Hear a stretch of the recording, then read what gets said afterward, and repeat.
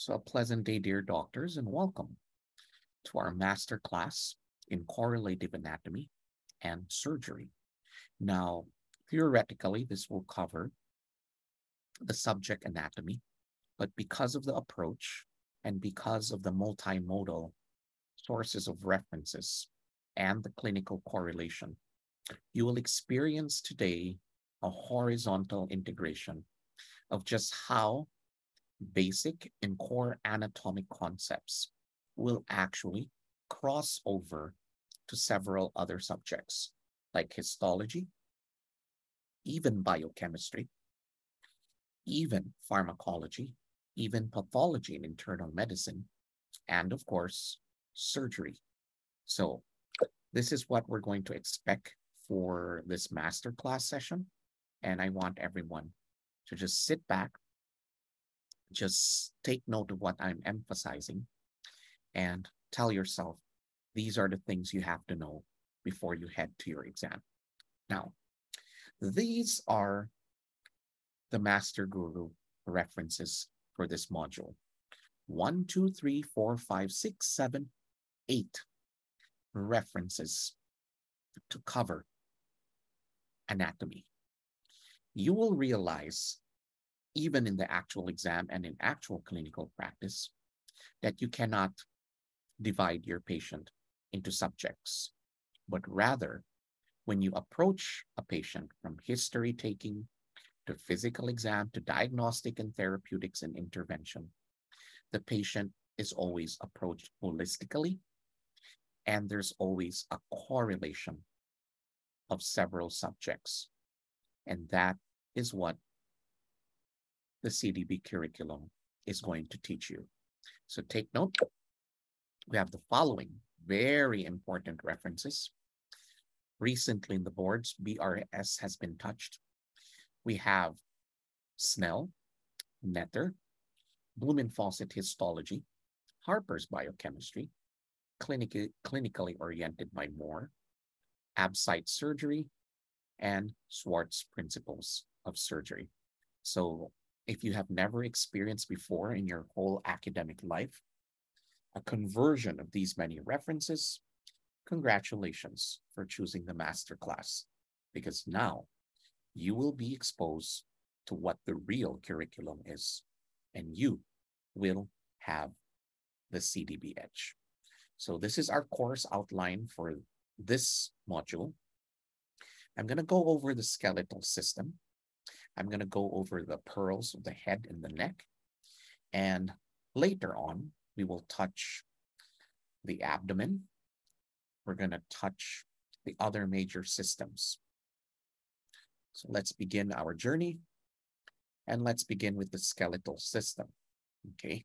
Now, I have this presumption a lot of you are probably in this state. Okay. And that's probably why you're joining the masterclass. Ultimate last ditch final coaching. Don't worry, you will not have any regrets. So let's start with the histologic concept of the bone tissue. Now, I want everyone to remember that the bone tissue is comprised of collagen type 1. Okay, collagen type one. Now, another thing I want you to remember is that there are actually three major types, okay, three major types, okay, of bone cells. First, we have the osteocytes, we have the osteoblasts, then we have the osteoclasts, okay? So please take note of that.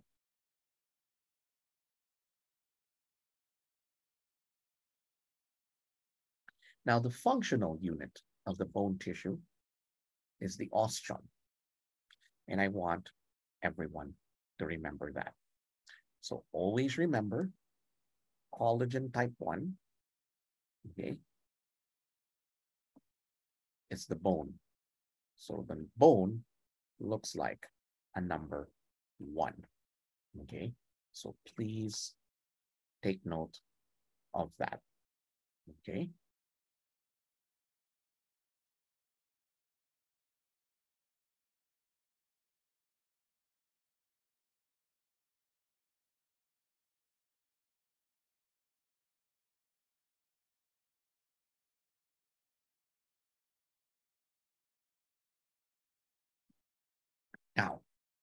Another must know the histology behind the bone, the biochemistry behind the bone. So the bone is comprised of a connective tissue which has a matrix, which is composed of collagen fibers, which we mentioned earlier is collagen type 1. And this is responsible for the flexibility as well as the tensile strength of the bone. The calcium is there for the rigidity. In fact, many references would say 99% of calcium actually comes from the bone. Now, there is a substance here which is responsible for the hardness of the bone, and this is what we call the hydroxy apatite. So what actually is hydroxyapatite from a biochemical aspect? This is calcium, phosphate, hydroxide. Okay, calcium, phosphate, hydroxide. So again, three key words to bring with you to the boards. The bone is collagen type 1. It's made out of calcium and it's made out of hydroxyapatite. Now, let us give you this guru guide and let us go over some keywords. And please engage with me in the chat box. So, what disease pops into your head? If you're given a case of frequent fractures, a barrel shaped chest, a curved spine, and a blue sclerae. What disease pops into your mind? Okay, perfect. This is osteogenesis imperfecta, commonly known as OI. Now, let's add some testmanship here. Of these four keywords or key phrases that I mentioned, what do you think is the giveaway? Yung pinaka-unique the giveaway. Great. I agree with you. It is the blue sclerae. Okay. Now, question. What does Robbins pathology say is the chemical process which occurs and is responsible for the blue sclerae? Would anyone happen to know? This is actually found in your core printed handouts in pathology. What is responsible for the blue sclerae. This is caused by tyndallization. There is a reflection, okay, of light on the sclerae, particularly the underlying blood vessels in the sclerae. And because of this reflection or this process of tyndallization, the sclerae now appears to be blue. Okay, so please take note of that. Now, don't forget the other name of osteogenesis imperfecta. The other name of osteogenesis imperfecta is brittle bone disease. Okay, again, it is brittle bone disease. So please take note of this. Okay, we know this is going to come out. Okay, again, we know this is going to pop out. Okay.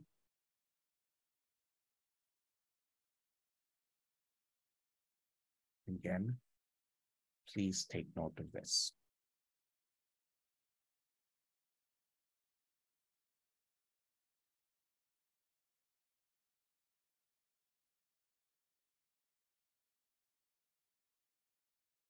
Now next, here are some photos of osteogenesis imperfecta and I would like to give you the hint of the curves or the scoliosis. Now, what do we call scoliosis which occurs at the thoracic vertebrae? What type of scoliosis is that? Or what type of bone deformity? Okay, what's the thoracic. Okay, thoracic is kyphosis. Okay, thoracic is kyphosis. Now, what if I give you the keyword of gibbus? What is your diagnosis or most likely diagnosis, especially if you're dealing with patients in the Philippines? Okay, great.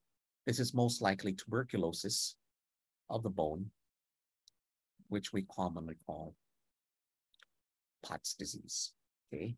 Which we commonly call Pott's disease. So please take note of this, okay? Now here, here's the blue sclerae. There you go, okay? And here's the scoliosis. Now, question. What pops into your head? Okay, this is your guru guide. Bow legs, knock knees, stunted growth, and cranial tabes. What pops into your head when you hear these words?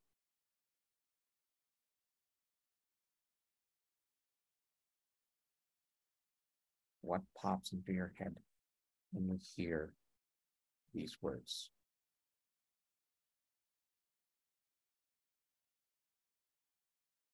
Okay, very good. Very good. So this is classical. Okay. Whoops, there's a little on here. Why congenital syphilis? Is this congenital syphilis? Bow legs, not knees. Stunted growth.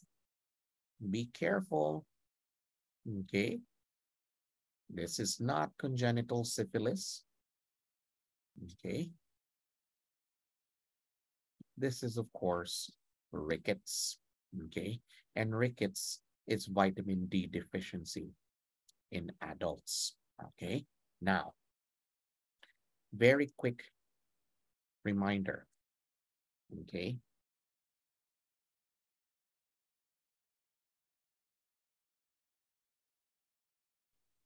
very quick reminder.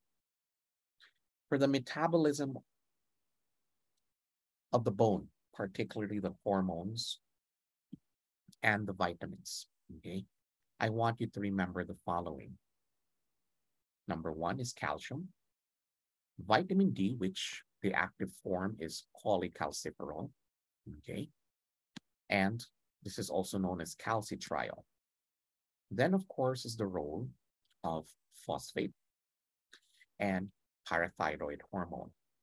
Okay, so bone metabolism, these are the four must know pearls. Okay, calcium, vitamin D, phosphate, and parathyroid hormone. Now, question What hormone is produced by the thyroid gland and it decreases. Let me change my arrow. It decreases calcium levels. What hormone produced by the thyroid gland? What hormone produced by the thyroid gland decreases the levels of calcium? Okay, this is calcitonin. Okay, now, few must knows. Always remember, bone is called osseous tissue. If you hear the word chondro, then that would mean cartilage. Okay? Cartilage is chondro, bone is osseo. So, bone is formed through a process known as ossification. Now, ossification is a gradual process. In other words, when the baby is born, not all bones are ossified. And the fetal skeleton will basically form, it will be formed from a cartilage model. Okay, now, question. What is the first bone to undergo ossification? What is the first bone to undergo ossification? Okay, so it's right there in front of you. It's the clavicle. Okay, the clavicle is the first bone to undergo ossification. And what specific type of ossification does the clavicle undergo? It's not the usual type of ossification. This is the same type of ossification for the skull, okay? The skull bones, okay?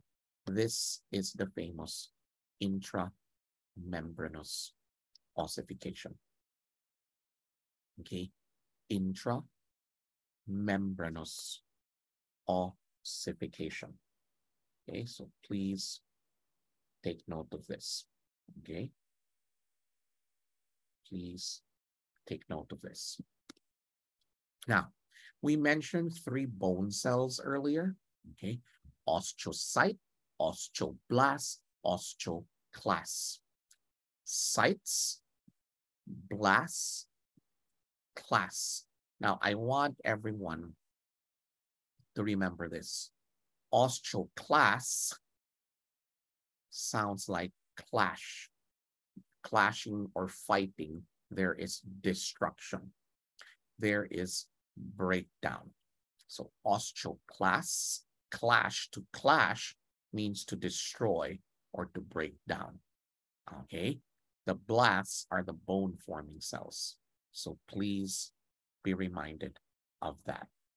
Okay, now let's compare compact bone versus the cancellous or the spongy bone. The compact bone is also known as the cortical bone. Okay. The cortical bone or the compact bone, as the name implies, is dense and it is hard. The compact bone forms the outer layer of the bone. Okay, it forms the outer layer of the bone. So please take note of that. Now you usually find the compact bone. You usually find the compact bone in the epiphysis and the diaphysis. Now question, what type of bone would you find an epiphysis and a diaphysis? What type of bone? Okay, in what type of bone would you encounter the epiphysis and the diaphysis? Okay, you usually encounter this in the long bone. So the keywords again for the compact bone, it's also known as the cortical so letter C for compact is letter C for cortical. As the name implies, it's dense and it is hard. And what is responsible again for the hardness of the bone? What is that famous? What is that famous? Okay. Uh, material or substance responsible for the hardness of the bone. Okay. That is, of course, hydroxyapatite. Okay, hydroxyapatite. So please take note of that.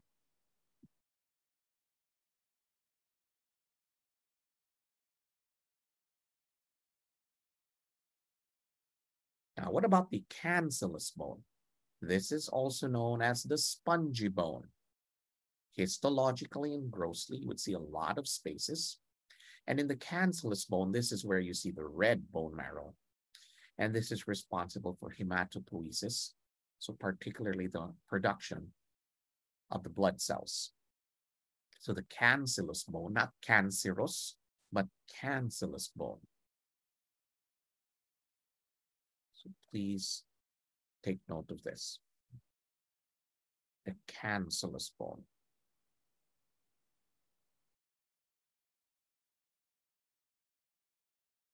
So that produces the blood cells.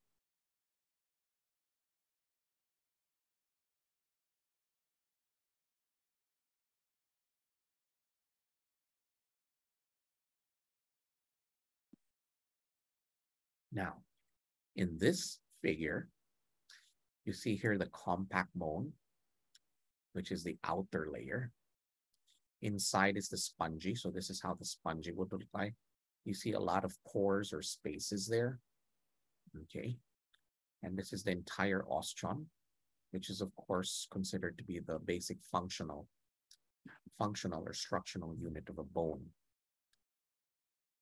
Here's another photo. You have here the osteons. Okay. Here's the compact bone in a very beautiful illustration showing you the cancellous or the spongy bone.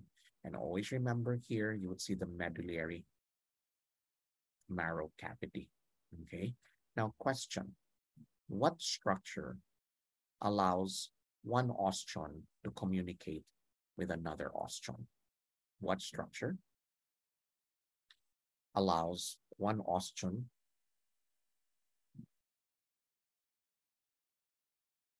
communicate with another osteon. Okay, very good. So you have your haversian canals. Okay, you have the haversian canals. Now, I made a table here for you guys, which of course I'll share with you guys later after you listen to the session. If we go back to our basics, there are actually four shapes of bones. We have the long bones, okay? We have the short bones. We have the flat bones. Then we have the irregular bones. Long, short, flat, and irregular. When you say irregular, it doesn't fall under the previous three classifications of either becoming being long, short, or flat. Now, when we say long, that means the bone is longer than wide. When we say short, it's as long as wide. Okay, the flat bones are plate shaped, while the irregular bones do not comply with the previous shapes. Now, the example of the long bone is the femur and the humerus. Example of the short bones are the carpals and the tarsals. Example of the flat bones is the sternum, the scapula, and the pelvis. An example of the irregular bone is the vertebrae. Okay, now, hands on your keypads. Let's have a little coaching blitz. Okay, so let's have a little coaching blitz. So number one, what would you usually encounter if there's a fracture of a long bone and suddenly the patient presents with difficulty of breathing and develops hypotension? Okay, you have a patient with a fracture of a long bone, suddenly presents with difficulty breathing or shortness of breath, tachypnea, and hypotension. Okay, very good. This is a fat embolism until proven otherwise. Okay, a fat embolism until proven otherwise. Now next, what is the most common dislocated carpal bone? the most common dislocated carpal bone. The most common dislocated carpal bone is the lunate. And what is the most common fractured carpal bone? What is the most common fractured carpal bone? Okay, fractured is the scaphoid.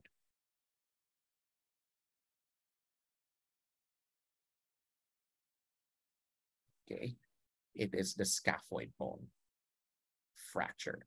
Now, question. If the scaphoid bone is fractured, what blood vessel is usually injured?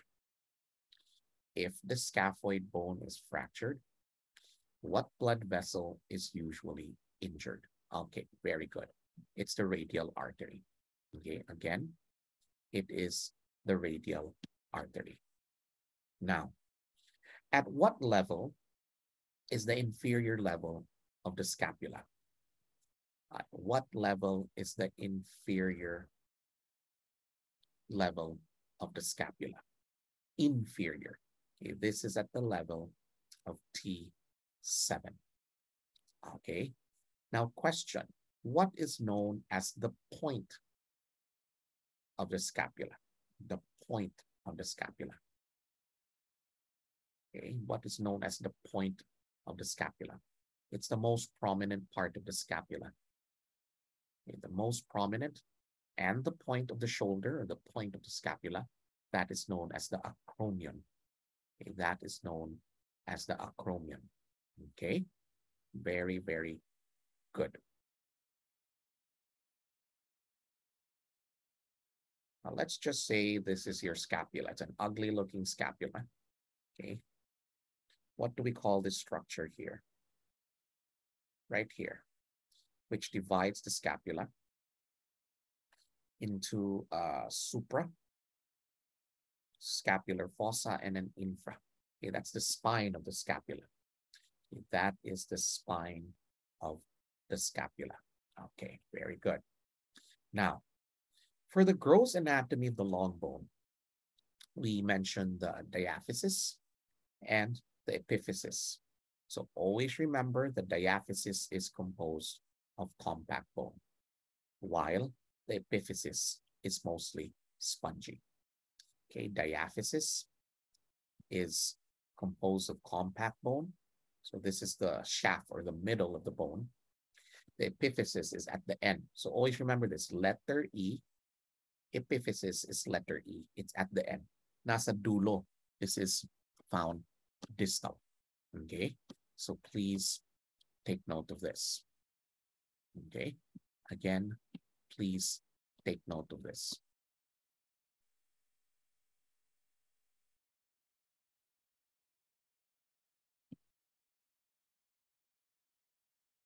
So epiphysis is spongy, diaphysis is compact. Okay, so please take note of that. Now let's highlight the diaphysis. Okay, so here, look at the photo. You have there the central shaft and you have the medullary cavity. Okay, this is where you find the yellow marrow. This is mostly fat. And what famous Filipino dish would you encounter the yellow bone marrow? Okay, what famous Filipino dish? Okay, very good. You have uh, bulalo, puchero, okay? A lot of people fight for that. Now you have one recipe, the sizzling bulalo. Okay, that's basically yellow marrow. Uh, I call that a heart attack. Okay, that is super duper loaded with triglycerides and bad cholesterol. Okay, but again, mabenta siya, di ba? Very, very, very mabenta. Yes, kansi, that's correct. Now, I want you guys to remember that the wide ends of the long bone again, okay, nasa dulo, you have the E, the N, that's the epiphysis, okay? Then, of course, you have the diaphysis, which is the shaft. So I want you to remember there's an articular cartilage there in the epiphysis. There is a articular cartilage there. The articular cartilage has two functions. One is to cover, okay, the epiphysis. Second is to prevent bones from rubbing on other bones, okay? Now, what do we call this structure here? Where the arrow is. What do we call this? That's the epiphyseal plate. Sorry, I just gave the answer. okay, that's the epiphyseal growth plate. Okay, and basically that's very important. Now, growth hormone and thyroid hormone plays a very important role, okay, in the epiphyseal plate. Now, what if I tell you there is an excess of growth hormone before the epiphyseal plate closes? What condition would you encounter? Excess of growth hormone before the epiphyseal plate closes. This would lead to the condition gigantism. Okay, so I want everyone to remember this. Okay, now question. In the workup of someone with gigantism, aside from measuring growth hormone levels, okay, what laboratory would you order? What laboratory would you order? What laboratory would you order?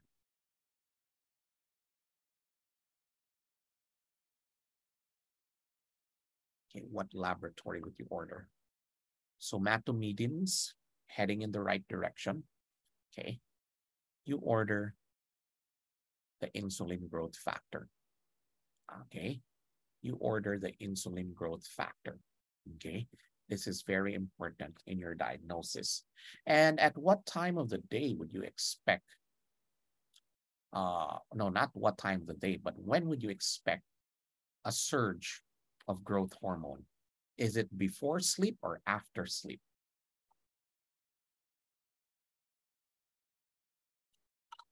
Is it before sleep or is it after sleep? When would you expect a surge of growth hormone levels? Is it before sleep or after sleep? Okay, it's after sleep. How many hours after sleep? How many hours after sleep? Okay, this is very physiology. Okay. Uh, the best answer here is one to two hours. Okay, one to two hours after sleep. You would expect you would expect a surge. Okay. You'd expect a surge of your growth hormone. Okay. Now, what do we call that condition? If there's a deficiency in growth hormone before the epiphyseal plate closes. So growth hormone deficiency before the epiphyseal plate closes. Okay. So that is dwarfism. Okay, that is dwarfism. Baliktad, what if there's decreased growth hormone? Uh, no, sorry. What if there's increased growth hormone, increased growth hormone, but the epiphyseal plate is already closed? What condition would that individual develop? Okay, this is now acromegaly. Okay, now very good. Now, what drug would you give to treat acromegaly? What drug would you give to treat acromegaly? Okay, very good. You would give octreotide. Very good. I'd like to share with you a case. This is actually the second to the last case I saw last night. Uh, I finished clinic like almost eight o'clock last night in the evening. Uh, there was a female, okay, she's 21 years old. She was referred to me in the clinic last night. She had the chief complaint of blurring of vision. She also had the chief complaint of severe chronic headache. Now, her blurring of vision was tunnel vision and she could not see at the sides. When I saw her, she was pretty big. She had very big hips. Her mask could not fit her chin actually was literally protruding and the mask could not cover her entire face. I asked permission and I asked her if she could remove the her mask. And I politely asked her if she's noticed any changes in her facial features. The jaw was protruding, the forehead was very big. I noticed she had hirsutism, she had a lot of hair, and she was a female. So I asked about her menstruation, and it was very irregular. I asked her if there's any milk coming out of her her breasts, okay? And she said no. What would your impression be in this patient? Let's see if you can think. Put all the key features together. Headache, okay? There's headache. The patient had blurring of vision. The patient had irregular menses, very protruding very protruding jaw, big forehead. Okay. So I see some answers here. Adenoma, pituitary. Okay, very good. This is a pituitary adenoma, which is most likely a prolactinoma. Now, question. I have a very good question. What are those features in the face, which I just reported to you? What is that protruding jaw or the prognathism? Okay, this is very acromegaly. I did not tell you that she had very big hands. very big feet, but her hips were that of a football player, an American football player. Okay. That's prognathism. The lion face, that is leonine facies. Leonine facies is, is seen in lepromatous leprosy. Protruding jaw, that's prognathism. Now here, here's the famous epiphyseal plate or the growth plate. And let's try to make this as clinical as possible. So this is your clinical crossover. This is your guru guide. What drugs are contraindicated in children due to the side effect of early closure of the epiphyseal plate and cartilage damage? Okay, I see a couple of answers already. Okay, I see quinolones or ciprofloxacin. That is correct. I also see tetracyclines, doxycycline. Okay, very good. So these are the two drugs which are contraindicated in growing children because it closes the epiphyseal plate. There's premature closure of the epiphyseal plate. So we have quinolones represented by ciprofloxacin. Then we have cartilage damage and tendon rupture. So quinolones are bad for the cartilage and bones. Then we also have tetracyclines.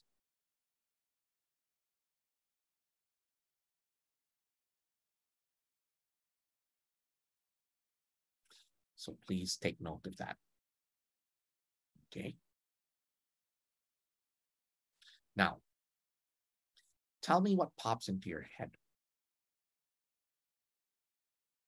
when you hear these keywords.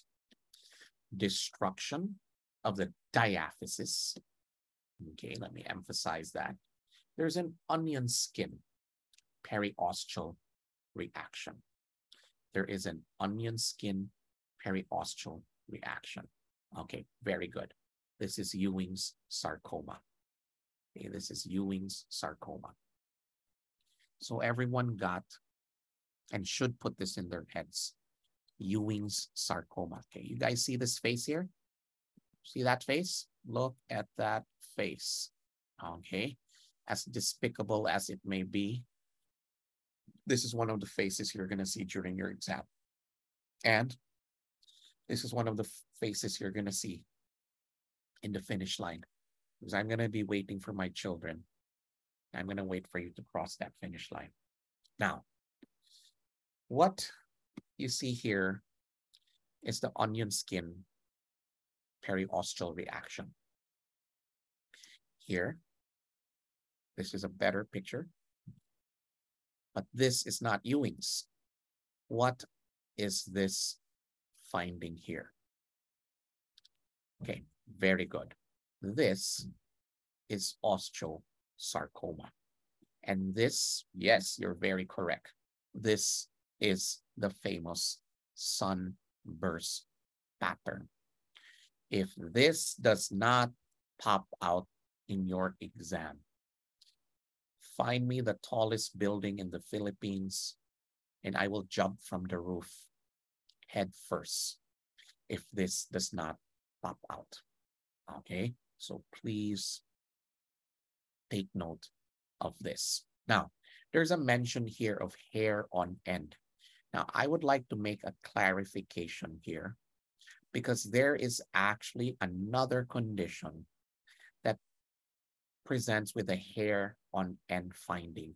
And it's actually pointing not much of osteosarcoma, but rather another disease. Would anyone happen to know what is that disease, okay, which presents with a hair on end? Okay, this is, yes, this is your beta thalassemia. Okay, beta thalassemia classically presents with the hair on end. So that's very good that this keyword or key phrase was mentioned. Okay, very good. Keep it up. Now, this is your guru guide. You're going to hear these keywords sunburst reaction, and what is the most common primary bone tumor in children. Okay, correct answer. Very good. It's osteosarcoma. Okay. Now, what are the two radiologic findings of osteosarcoma? What are the two radiologic findings of osteosarcoma? The sunburst pattern is one. What is the second? Okay, the second is the Codman's triangle. So this is what you see here on the photo on the right. Okay, Codman's triangle. Please jot that down.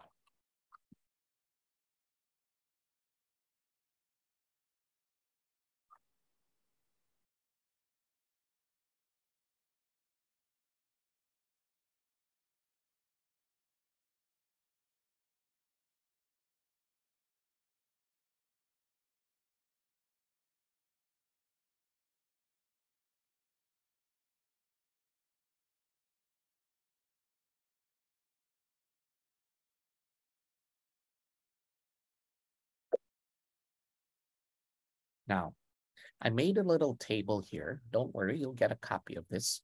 Okay. Would you like a study guide here, a copy? Would you like a copy of the presentation? Raise your hand if you'd like a copy so that you can just listen to this. Because we're here to chill. We're here to um, master things. We're not here to learn things for the first time. Okay, so I'll give you a copy of this. So here, I made a table to compare osteosarcoma from Ewing sarcoma, two of the most common childhood uh, bone disorders you're going to encounter. So osteosarcoma affects classically the metaphysis. Ewing's is also diaphysis. Now question, what is the most common site of osteomyelitis? Is it metaphysis or diaphysis. Osteomyelitis. What does osteomyelitis usually affect? Okay, very good. Osteomyelitis is classically metaphysis. Okay, so the presentation is actually similar between osteosarcoma and Ewing's. It's just Ewing's presents more of the constitutional signs of a malignancy, such as fever and weight loss both can present with local pain and swelling. Now, you have the sunburst pattern, and don't forget the Codman's triangle, which we mentioned earlier. And you have the lytic onion skinning periosteal reaction in Ewing's. Now, question. What is the most common site of metastasis? Okay, most common site of metastasis for both osteosarcoma and Ewing sarcoma where does it usually, where does it usually metastasize? Where does it usually metastasize? Okay, great. It is the lungs, okay? Osteosarcoma, Ewing sarcoma usually metastasizes to the lungs, okay? Now, what about rickets and osteomalacia? What is deficient here is classically vitamin D. But you have to remember if there is impaired metabolism of phosphate and calcium, this in turn would have counter-regulatory as well as regulatory mechanisms to affect vitamin D. So phosphate and calcium metabolism problems can also cause vitamin D deficiency. So please take note of this. So if there's vitamin D deficiency in children, that's rickets. There's vitamin D deficiency in adults, that's osteomalacia. Always remember yung adults, yung malicious. Okay, adults are malicious. Sila yung Malaysia. Okay, so please take note of that. Now, the most common cause of osteomyelitis, okay, is staph aureus. I want everyone to memorize that. Now, side question. What is the most common cause of osteomyelitis in a patient with sickle cell anemia? The most common cause of osteomyelitis in a patient with sickle cell anemia. Okay, so don't forget sickle cell, cell, cella, cella, ella, ella is salmonella, ella, ella. Okay, it is salmonella, okay, which is the most common cause of sickle cell, ella, okay. Very good, okay. Now, what about this condition called osteoporosis? These are the factors that would cause osteoporosis. We have age, we have the lack of calcium and vitamin D, okay? Then we also have menopause, corticosteroids, and heparin. Please pay special attention to the last two because these are the pharmacologic causes of osteoporosis. Okay. Now, uh, if this is the bone, sorry, medyo pangit yung bone. Okay. And let me just tell you, this is the surgical neck.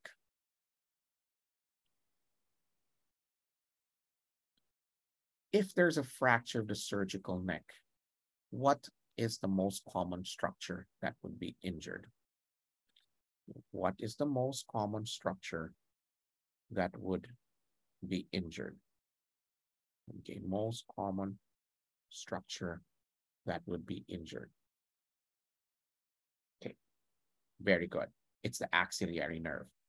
Okay, the axillary nerve. Very good.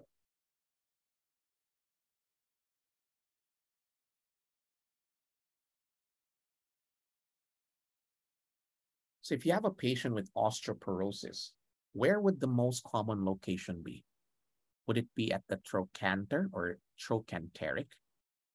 Or is it subcapital? Osteoporosis. Location. Is it subcapital or is it trochanteric? Where would the most common location be if there is a fracture caused by osteoporosis? Where?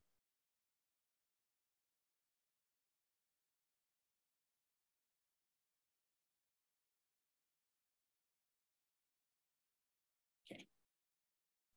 I see answer answers trochanteric. Mm, so far, no one has got gotten the correct answer.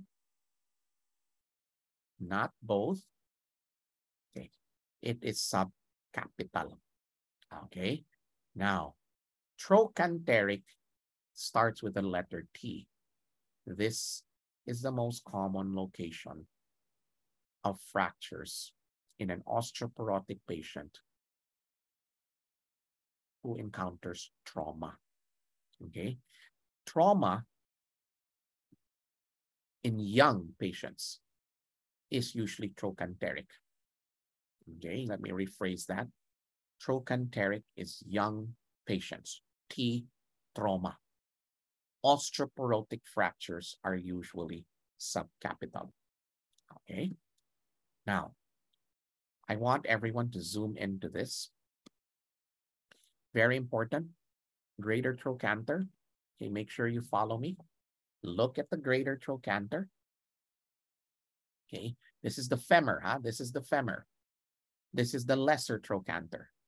Now, I want everyone to remember, where is the trochanter found? Is the trochanter found in the femur or is it found in the humerus? Where's the trochanter?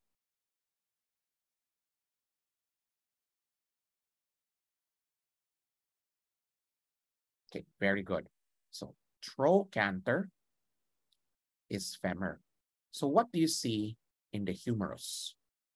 What is the analog to this? Ano yung, what do you see in the humerus? Okay, very good.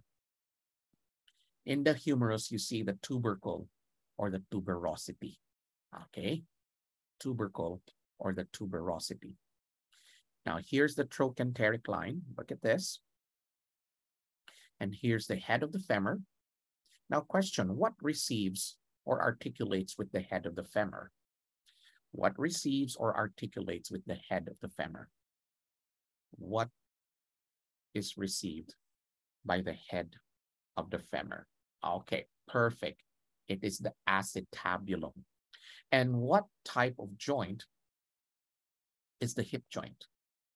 What type of joint is the hip joint? Okay, what type of joint? Okay. It's a ball and socket. Now question, what is the most common type of hip dislocation? Is it anterior or is it posterior? Hip dislocation. The hip dislocation is usually posterior. What about shoulder dislocation? What about shoulder dislocation? Shoulder dislocation is usually anterior. Okay, it's usually anterior. What about elbow dislocation? What about elbow dislocation? Elbow dislocation is usually posterior. So recap. What is the only anterior dislocation? Of the three joints I mentioned, what is the only anterior? It's the shoulder. It is the shoulder. Hip and elbow are posterior. Now question, what is the weakest part of the shoulder? And that is where dislocations usually occur. Where is the weakest part of the shoulder? The weakest part of the shoulder is inferior because there is no support there. And what are the group of muscles that supports the shoulder joint? Those famous group of muscles, we call them the rotator cuff muscles. Okay. And the rotator cuff muscles, yes, you are correct. That is the sits, sup, supraspinatus, infraspinatus. Teres what? Is this minor or major? This is teres minor. What is the next S? What is the next S? Yung unang S is supraspinatus. This is the subscapularis. Now question. All of these muscles, except for one, are inserted into the greater tubercle. What is the exception? All are inserted into the greater tubercle. Three muscles. The exception is the subscapularis muscle because the subscapularis muscle is inserted where? Where is it inserted? Very good. Oops, not trochanter. Oh, wag ilagay sa paa. Not the trochanter. Be careful. Okay. It's the tubercle. Okay. It's the lesser tubercle. Okay. Careful, ha? Be careful. Now, which of these muscles is responsible for the first 15 degrees of abduction? First 15 degrees of abduction. Okay, what's the first 15 degrees? Supraspinatus. Okay, supraspinatus. Very good. Now, let's have a little mental exercise. Kaya pa? Are you guys still with me? Okay, give me a thumbs up if you're still with me. Thumbs up or raise your hand if you're still with me. I want to make sure I'm not alone. Okay. Still want to learn more? Okay, great. Now, same illustration or figure. So what if there is, I'm talking about the humerus, huh? The photo there, I apologize, is that of the femur. I'm referring to the humerus now. Mid shaft of the humerus, what nerve is damaged? Okay, that's the radial nerve. Okay, what about the nerve damage if there's a medial epicondyle fracture? Medial epicondyle fracture. Okay, great. That's the ulnar. Now, what blood vessel is usually damaged or injured if there's a supracondylar fracture? Supra condylar fracture. Very good. It's the brachial artery. Okay, the brachial artery. So the radial nerve is damaged in a mid shaft of the humerus fracture. The ulnar nerve is damaged in a medial epicondyle fracture. And the brachial artery is damaged if there's a supracondylar fracture. So the classic presentation of radial nerve palsy is a wrist drop. Okay, it's going to be a wrist drop. You might hear uh, terms like Saturday night palsy. Saturday night palsy. You might hear terms like crutch palsy. I'm finished. I'm basically summarizing everything in the multiple books. Wrist drop, Saturday night palsy, crutch palsy. I'd like to clarify a crutch palsy is not the axillary nerve. Now for the ulnar nerve, which we call the funny bone, okay, this can clinically present with a claw hand. I hope everyone got this, a claw hand. Now, what condition results from ischemic uh, contracture because of the brachial artery? What do we call that condition? It's an ischemic contracture. Okay, very good. It's a Volkmann's ischemic contracture. Now, the Volkmann ischemic contracture can also present with a claw hand. It can also present with a claw hand okay? It can also present with a claw hand.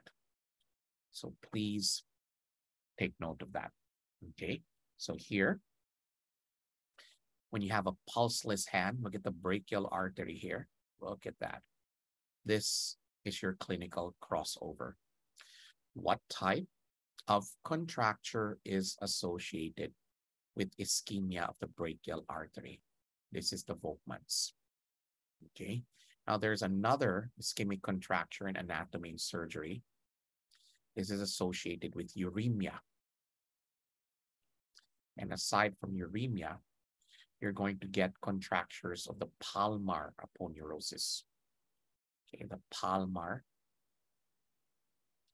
aponeurosis. Question, what is this type of contracture? What is this type of contracture? Okay, very good.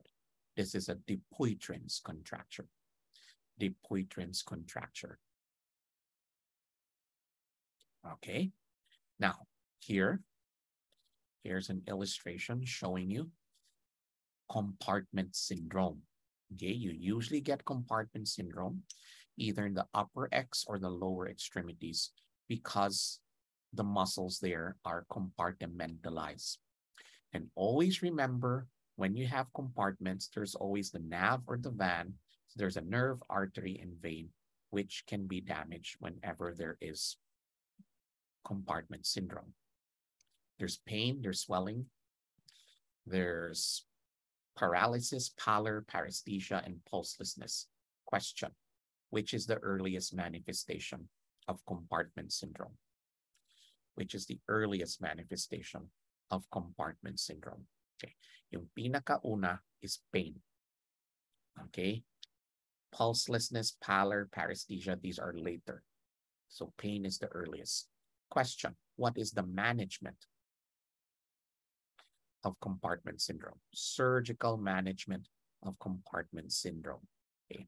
This is fasciotomy. Okay? Fasciotomy is done in compartment syndrome. Okay. Now, what if there is compartment syndrome secondary to a burn? You do not do fasciotomy. What do you do if this is burns? Dahil sa burns. If this is a burn, then you do escharotomy. Okay, escharotomy. Very good. So please take note of that.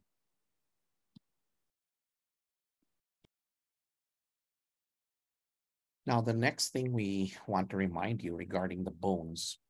Okay, so here's the carpal bones. I think you have encountered the famous uh, mnemonics for the carpal bones, which is some lovers try positions that they can't handle. Okay. So some lovers try positions that they can't handle. Okay. So please take note of this. Now let's play around a little here. So we have some very important things to go over. We actually mentioned a couple earlier. So the, the hamate is the most common dislocated carpal bone. If the hamate is injured or fractured, the ulnar nerve is injured. The scaphoid is the most common fractured carpal bone. That's why some people spell calf, scaphoid with the letter F, scaphoid F for fracture. If the scaphoid bone is fractured, then there's injury to the radial nerve. Okay. Now, correction, it's the lunate. So I stand corrected. Lunate is the dislocated bone, most common. Hamate can be dislocated, but it's not the most common dislocated. So correct that. Most common dislocated carpal bone. Most common dislocated carpal bone, okay, is the lunate. Then don't forget which is proximal and which is distal. Now for the common bone fractures, there's only two things I want you guys to remember here. One is the term comminuted fracture, which means the bone breaks into two or more fragments, okay? Next is a green stick fracture, which is more common in children because their bones are more flexible or more pliable, okay? So that means it breaks on one side and it bends on the other. So that is the green stick fracture. Now, can you tell me what fracture presents with a dinner fork deformity? Dinner fork or silver fork deformity? Dinner fork or silver fork deformity. Okay, very good. That is a Colles fracture. Dinner fork deformity is a Colles fracture. So please take note of that.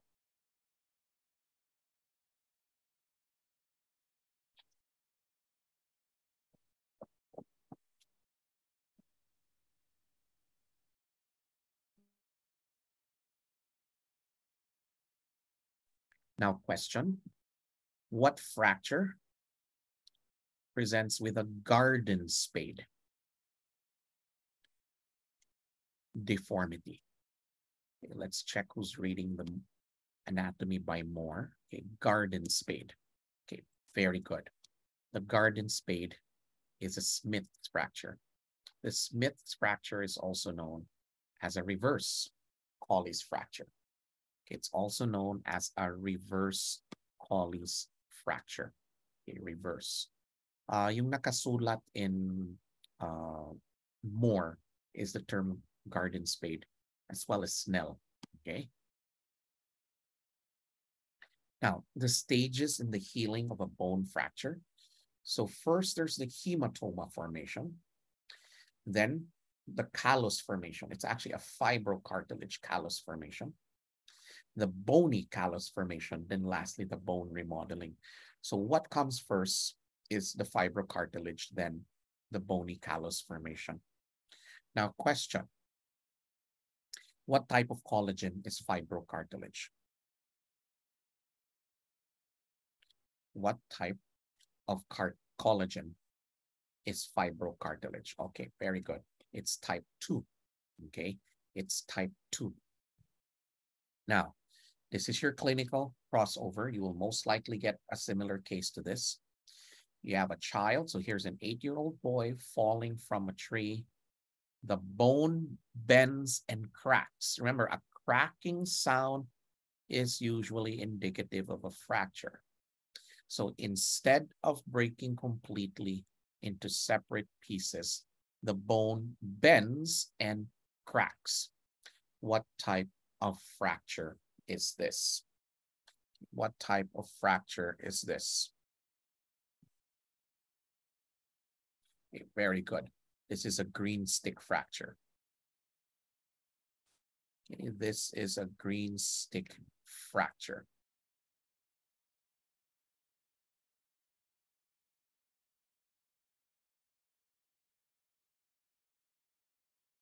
This is a green stick fracture. Now, always remember that. Now, the three major types of cartilage. Okay, we have hyaline, we have fibrocartilage, then we have the elastic cartilage. Okay, so take note, hyaline, fibrocartilage, then elastic cartilage. Okay, so this is the histologic description of hyaline. Okay, you have a clear ground substance. In the fibrocartilage, you have dense collagen fibers. Then elastic, as the name indicates, you have the elastic fibers. So please take note of that. Okay, now, this is what you're going to expect in the exam. And this is most likely what's going to come out back and forth, back and forth. Okay, what are the examples of hyaline cartilage? It is BLT. Okay, very good. What is BLT? It's the bronchi, larynx, and trachea. Bronchi, larynx, and trachea.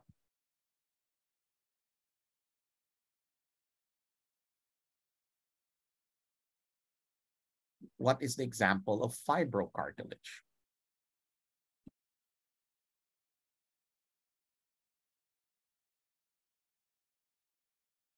Give me examples of fibrocartilage.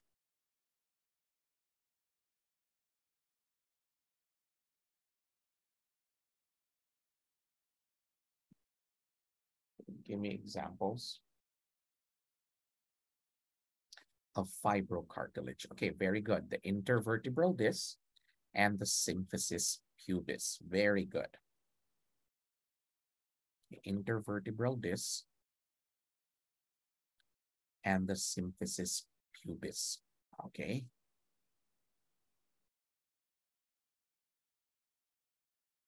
Now, what are the examples? So intervertebral disc and the symphysis pubis. Now, what are examples of the elastic cartilage? There are three. E, epiglottis.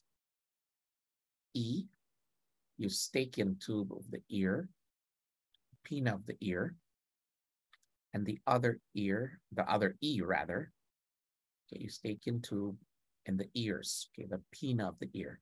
They are all letter E.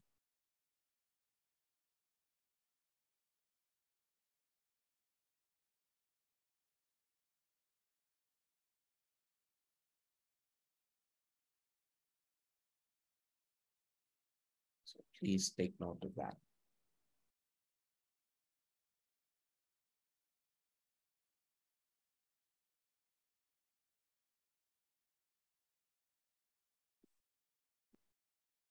Now, your clinical crossover is this, the glycosaminoglycans, or what we call the GAGs. Now, can anyone tell me what glycosaminoglycans can you remember are found in hyaline cartilage? Okay, can you name a few? What glycosaminoglycans would you find in hyaline cartilage? Okay, we have hyaluronate or hyaluronic acid. Okay, what else? What else can you think of? Chondroitin, that's chondroitin sulfate. Okay, anything else you'd like to share?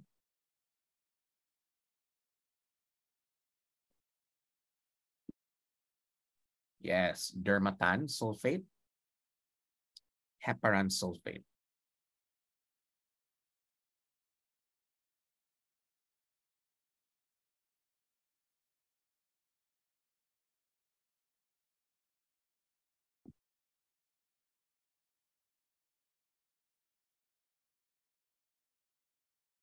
Now, here is a table lifted from Harper's biochemistry.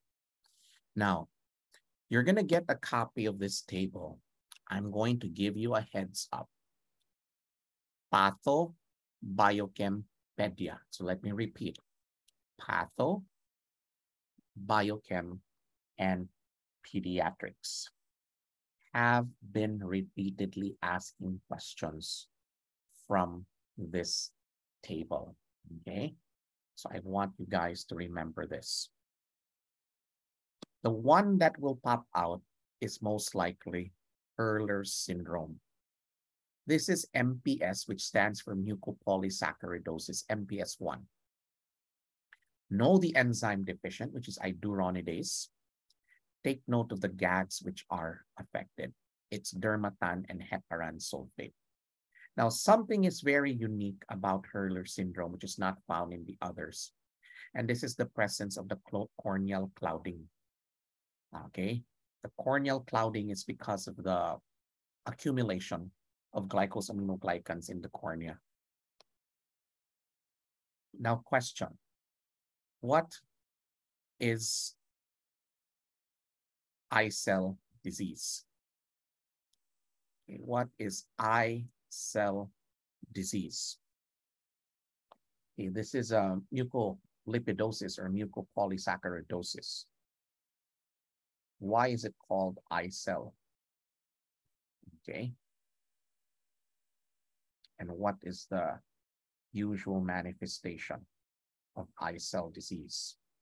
Okay. What is deficient? Okay, very good. It's the NAG T1. Okay. NAG T1 is N-acetylglucosamine phosphotransferase gene. Okay. N, acetylglucosamine. Okay. N acetylglucosamine phosphotransferase 1. Would anyone happen to know which MPS is I-cell disease? Is it one, two, or three? Is it one, two, or three?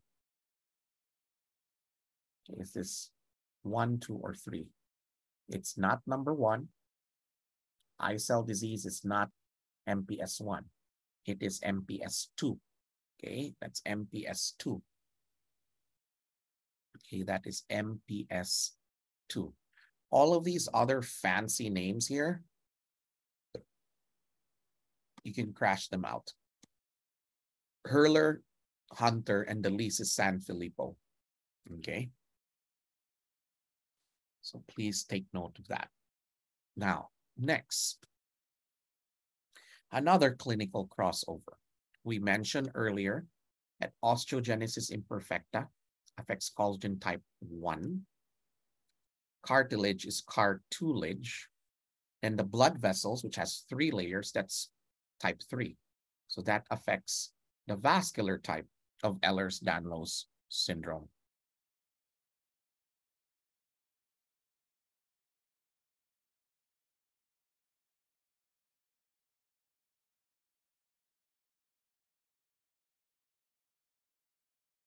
Then we have type 4, which is Alport syndrome. Type 4 is the basement membrane. Please memorize this. Yung pinaka-paborito dito is the question on type 2 and type 4, Alports.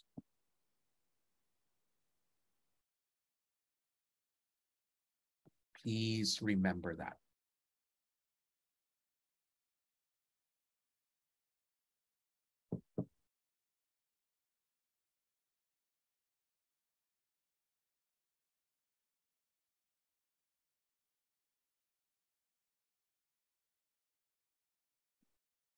So here's Alport syndrome. So they usually present with uh, hereditary nephritis and deafness. Okay, hereditary nephritis and deafness. That is the usual presentation. So here I'd like to add this. It's lifted from your book. Uh, Alport syndrome, aside from the famous deafness and nephritis, okay, this is X-linked that means it's only males will manifest it presents with these two ophtha findings. One is the anterior lenticonus. Second is the posterior corneal dystrophy. Anterior lenticonus. Then we have the posterior corneal dystrophy. Now here is another table lifted from Harper's. We actually mentioned most of these cases, but I just want to touch from the book because this is how you top the exam. So first, dwarfism. It's deficiency of growth hormone, and that is before the epiphyseal plates close. Next is rickets, which is vitamin D deficiency. This is in childhood or children.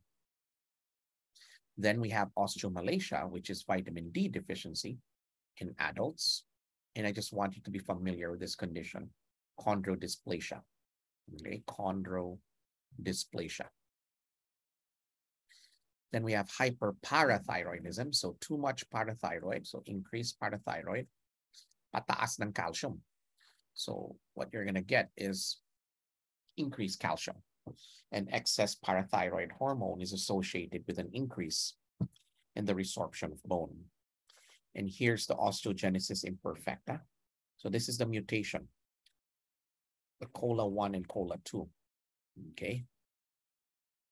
So osteogenesis imperfecta can present with achondroplasia and thanatophoric dysplasia, okay? So please take note of this. Okay, again, please take note of this. Now, what about the joints? Okay, fibrous joints, cartilaginous joints, synovial joints. I want everyone to remember the synovial. These are the freely movable joints. The fibrous are immovable. The cartilaginous are both immovable, but some are slightly movable. So what you bring with you to the boards are the synovial joints, okay, which are the freely movable joints. Now, as to the functional classification of joints, a joint is either synarthrosis, amphiarthrosis, or diarthrosis. Question, what is the functional classification of the knee joint? what is the functional classification of the knee joint? Tuhod, knee joint. Okay, very good. So the knee joint is a diarthrosis. Okay, the knee joint is diarthrosis. Okay, so please remember that. Now here, the fibrous joints allow no movement. They are basically uh, joined by fibrous tissue. And a classic example here is the sutures of the skull. Okay. Now, what do we call the condition where there is premature or early closure of the sutures of the skull?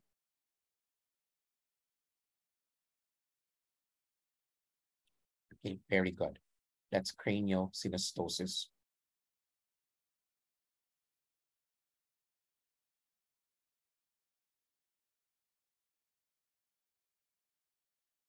So please take note of this.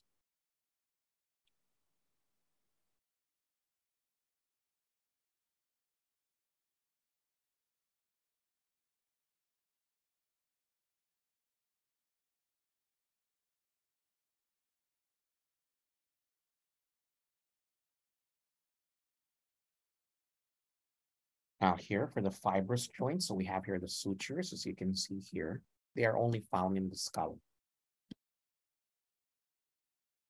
So sutures here are found in the skull. Then we have this term syndesmosis. Okay. When we say syndesmosis, these are bones that are connected by ligaments. Okay. If you notice the recent questions in the anatomy exam, yung sobrang detalye, malalim na siya sa book. Okay, these are examples of this. So examples of syndis, syndesmosis is the talofibular ligament, the interosseous ligament, of the radius and the ulna. Okay, the interosseous membrane of the radius and the ulna. Now, question What is the most common ankle joint that is sprained? The most common, not ankle joint, rather, sorry, not ankle joint, but ankle ligament. Okay, I stand corrected. What ligament, okay, is usually sprained in the ankle? Okay, very good. It's the anterior talofibular joint, okay? Uh, ligament rather, the anterior talofibular ligament.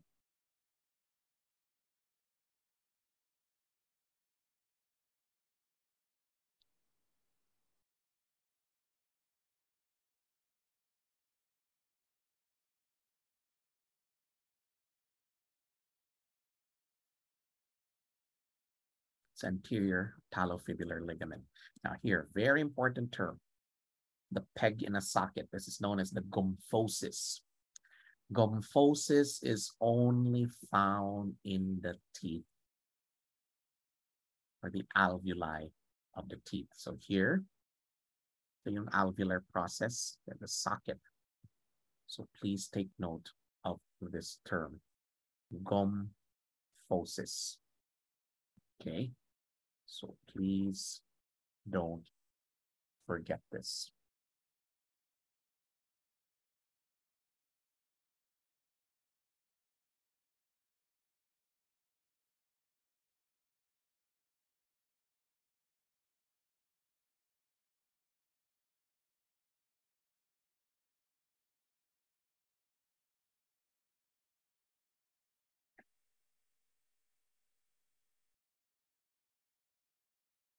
I hope you, you got these two terms, syndesmosis and gomphosis. Now, always remember there's cartilaginous joints are bones which are connected by a cartilage. And they are mostly amphiarthrosis, okay? And the classic example here is the pubic symphysis and the intervertebral joints. Okay, the pubic symphysis and the intervertebral joints.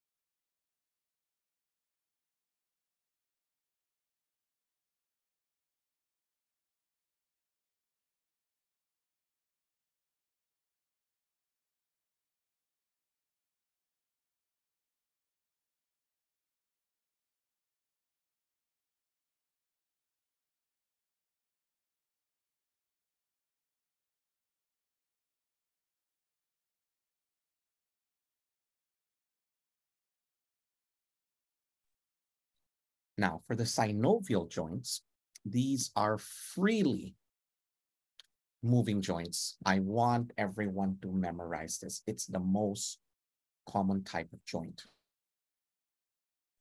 Can you give me examples of a synovial joint? So this is the ball and socket. Can you give me specific examples? Okay, specific examples. Okay, glenohumeral, very good. Okay, glenohumeral is also known as the shoulder joint. Okay, the hip joint. What is the anatomic name of the hip joint? Tama yung hip joint. Hip joint. What do we call the hip joint? If the shoulder is glenohumeral, what is the name of the hip joint? Ano yung anatomic or medical term for the hip joint? Anyone?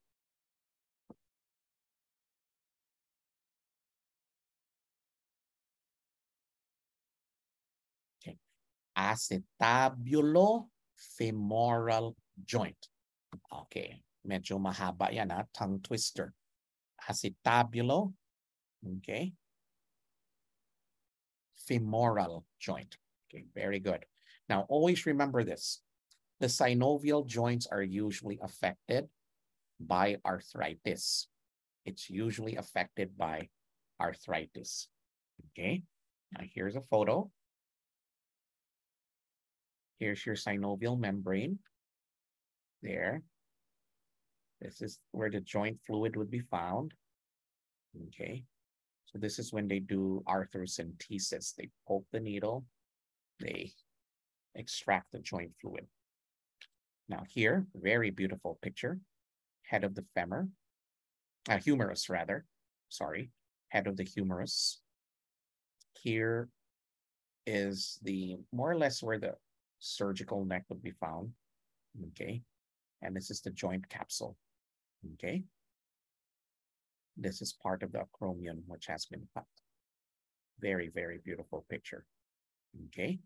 Now, there is a space in the shoulder known as the quadrangular space. We'll be talking about this this afternoon, but I want to mention this as early as now. The quadrangular space, okay, there are two very important structures that pass in the quadrangular space. What are these two important structures? Okay, can anyone share with me? Yes, tama si axillary nerve. Okay, tama si axillary nerve. Okay. What else? Okay, make it complete, not just circumflex. It is posterior humeral.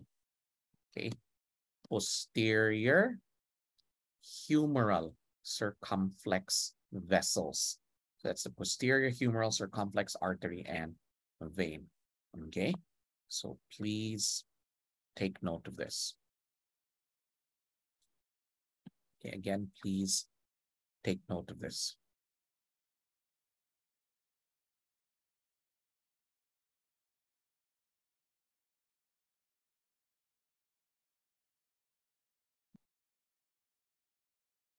Now, winding up, we have here the synovial joint shape types. Okay, I'll give you a copy of this. So the plane joints, this is the intercarpal. Hinge, take note, huh? The hinge joints. This is the elbow, ankle, and interphalangeal. The radio-ulnar is actually a pivot joint. Condyloid, that's metacarpophalangeal. And the saddle joint, ito yung paborito sa exam. Okay? This is the carpometacarpal joint of the thumb. Now, question. What do you call a fracture of metacarpal 1? What do we call that fracture? What's the eponym? Metacarpal 1. Metacarpal 1 is the thumb. This is a Bennett's fracture. Nabe Bennett, okay?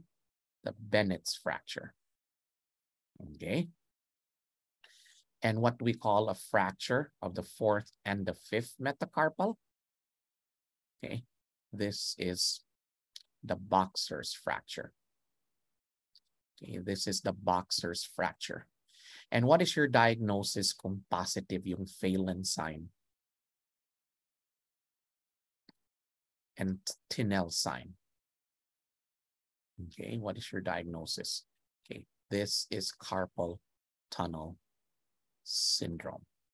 And what nerve is compressed in carpal tunnel syndrome? Okay, the nerve that is compressed is the median nerve. Okay, very good. It's the median nerve. Now, there is a test where you occlude the radial and the ulnar artery. You want to check the patency. You want to check the patency of the circulation there. So my question is, what is this test? Okay, very good. This is Allen's test. Okay, this is Allen's test. Okay, Allen's test. So please take note of this. Okay.